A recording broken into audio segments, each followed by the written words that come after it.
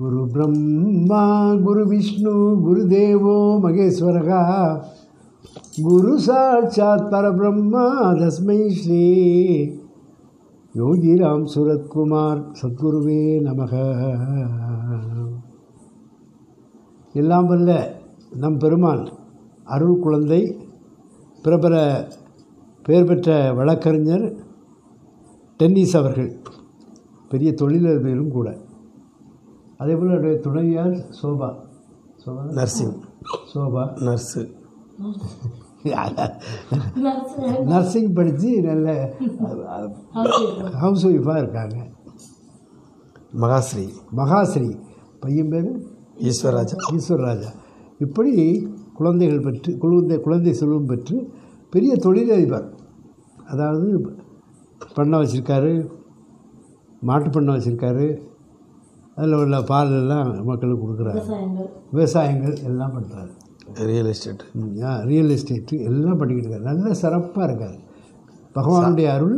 சாமிங்க வந்த பிறகு தான் சாமிங்க வந்த பிறகு தான் வீட்டுக்கு ஒருக்கா வந்து வந்தீங்களா சாமி? அதுக்கு பிறகு தான் மிகப்பெரிய ஒரு மாற்றம். நீங்க என்ன பேசுங்க? ஆ. சாமி வந்து நான் முத முதல்ல என்ன அறியாமையே காணிமடத்தில் வந்து இப்படி ஒரு இது இருக்கிறது பக்கத்துல இருந்தே தெரியல. ஆனால் நான் வந்து அதை விசா விசாரித்து போய் பார்த்து எனக்கு முதல் ட்ரிப்பாக போனேன்.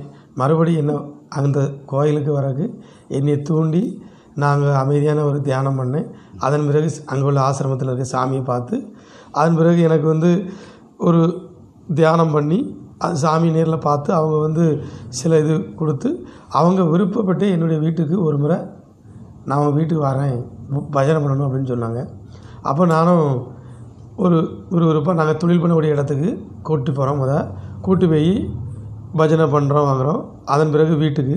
இப்படி ரெண்டு பஜனைகள் முடிக்கிறதற்குள் நான் ஒரு கோடி அளவுக்கு எனது வருமானத்தை உயர்த்தி செல்வ செழிப்போடு இப்போது சொத்து சுகம் தொழில் விருத்தி எல்லாமே இருக்குது.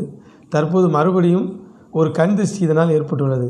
அதனுடைய பரிகாரமாக இன்று நமது வீட்டில் வைத்து பரிகார பூஜை தற்போது சீரும் சிறப்பாக ஐயா குருஜி அவர்கள் தலைமையில் நடைபெற்று கொண்டிருக்கிறது. சாமி நீங்கள் பேசுங்க. அப்படிப்பட்ட அருள் செல்வர் அவங்க வீட்டில் வந்து பூஜை பஜ பஜனை நாம சங்கீர்த்தனம் அவங்க தொழில் நிறுவனத்திலையும் போய் பண்ணோம் அவரே சொன்னார் ஒரு கோடி ரூபாய் உடனே பகவான் கொடுத்தார். அதெல்லாம் சாதாரண ஒரு விஷயம் கிடையாது. அதே போல் இப்போ பல தொழில் பண்ணுறதுக்கு அவர் ஆசை இருக்குது அதையும் பகவான் கொடுப்பார். பெரிய வழக்க வழக்கறிஞர். ஆனால் வழக்கறிஞர் தொழிலை கூட விட்டுட்டு பொய் சொ பொய் சொல்லணுமா? எல்லா பொய் சொல்லக்கூடிய அளவில் நம்ம இல்லை.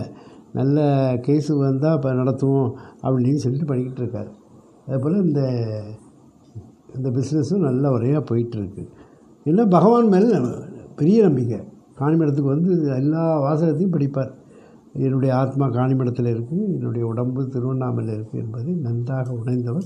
அதனால் நீங்கள் காணிமடத்திலிருந்து வந்து பஜனை பண்ணணும்னு முதல் பார்த்த பார்வையிலே கொண்டு வந்துட்டார். அதன் பிறகு குழந்தைகளும் நல்ல முறையில் படித்து பட்டம் பெற்று உயர் பதவியில் வருவாங்க. அப்படிப்பட்ட ஒரு அருள் செல்வர். இன்றைக்கி பாருங்கள் நாங்கள் ம- மத்தியான சாப்பாடு ஏற்பாடு பண்ணியிருந்தோம். உங்கள் வீட்டில் தான் சாப்பாடு. வந்தது நைட்டு ஒம்பரை மணிக்கு. மத்தியான சாப்பாடு பத்து மணிக்கு எங்களுக்கு சாப்பாடு பெரிதில்லை. புராணா பெரிதில்லை. பகவான் நாம சங்கீர்த்தனம்.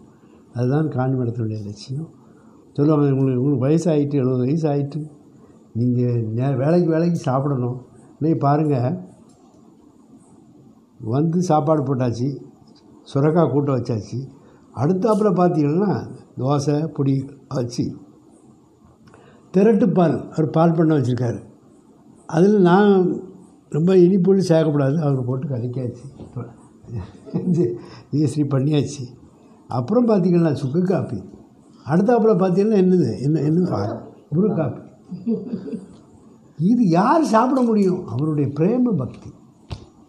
பெரிய வழக்கறிஞர் அடியனை போல் நல்ல வ- வக்கீல் தொழில் இருந்து எவ்வளவு கிளைண்ட்ஸ் ஆளுங்கள்லாம் இருக்குது அதெல்லாம் போகாமல் தொழிலில் கான்சன்ட்ரேட் பண்ணுறாரு அதே போல் நம்ம காணிமடத்துக்கு அன்னதான கைங்கரியங்களும் பண்ணுவார். பண்ணிக்கிட்டு இருக்கார். எப்போ வேணாலும் பண்ணுவார். அதுபோல் வந்து ஹோமங்கள் பண்ணுவார். பண்ணியிருக்கோம் இல்லையா? அதெல்லாம் பண்ணியிருக்கோம். அதே போல் அவருக்கு ரொம்ப தொழில் போட்டி. போட்டி ரொம்ப இருக்குது அப்போ அதை பகவான் வந்து எல்லாமே இல்லாமல் ஆக்கி நல்ல ஒரு இது கொடுத்து அவருடைய திருநாமத்தை எப்பவும் சொல்லுவார். கார் எடுத்தாருன்னா காரு காரை கொண்டு வந்துடுவார் பூஜை பண்ணுறதுக்கு இப்படி ஒரு சரணாகதி தத்துவத்தில் இந்த திருக்குடும்பமே அது அம்மாவும் இப்படித்தான் வீட்டம்மாவும் அவ்வளவு ஆசை. அவங்களுக்கும் அம்பாள்லாம் வரும். அந்த அம்பாளுடைய சக்தி அவங்கள்ட்ட இருக்குது பொங்கி ததும்பி பூரணமாக கிடக்கு. அப்படிப்பட்ட ஒரு நல்ல குழந்தை நமக்கு கிடச்சிருக்கு. பகவானுடைய ப பரம கருணை. நான் இவரை தெரியாது. அவராட்டு வந்து கோயிலுக்கு வந்து திரும்ப பழகி அவங்க வீட்டுக்கு வந்து பூஜை பண்ணி இதெல்லாம் அவ்வளோ அற்புதம். இதே இவங்க ஊரில் தான் அந்த பையனுக்கு பாலகிருஷ்ணன் இங்கே பதினோரு ஆண்டுகளுக்கு பிறகு குழந்தை பாக்கியம் கொடுத்துருக்காரு நம்ம காணிமடத்துக்கும் இதுக்கும் எத்தனை கிலோமீட்டர் இருக்குமா? ஒரு அஞ்சு ஆறு கிலோமீட்டர். ஆறு கிலோமீட்டரில் இருக்குது அப்படிப்பட்ட ஒரு புண்ணியாத்மா எனவே திருக்குடும்பம் பல்லாண்டு பல்லாண்டு பல கோடி நூறாண்டு வாழ்ந்து எல்லா நலமும் பற்றி சிறக்க நம் பெருமானுடைய திருவடி வேண்டுகின்றோம் ஜெய் யோகிராம் சுரத்மா ஜெய் யோகிராம் சரத்குமார்